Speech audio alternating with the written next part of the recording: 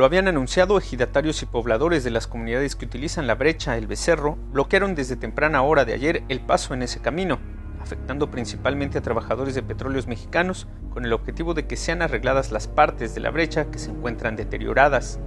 Por lo menos dos docenas de ejidatarios se apostaron desde las 7 horas con vehículos a la altura del rancho El Orégano,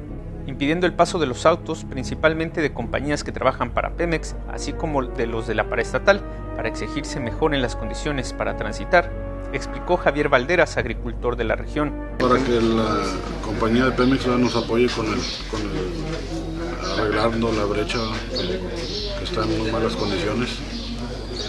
Este, y parece que ya hubo respuesta, ya hicimos un convenio ahí con ellos y, y ya llegó maquinaria también. Después de hora y media de iniciado el bloqueo al lugar, llegaron representantes de Pemex, así como el presidente del 14 Comité Campesino, Isidro Núñez Velázquez, para lograr acuerdos que permitieran liberar el tránsito.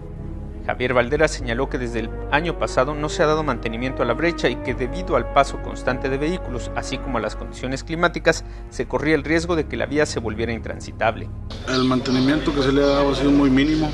este, y ahorita como viene la cosecha, nos, nos, urge que le den una buena arregladita a la brecha y pues, parece que va a haber respuesta. Una vez que se iniciaron las negociaciones y se firmó una carta compromiso de que desde ese mismo momento se iniciarán trabajos para regenerar la brecha, fue liberado el paso. Con imágenes de Juan Carlos Flores informa para el Mañana TV, Iván Moyle.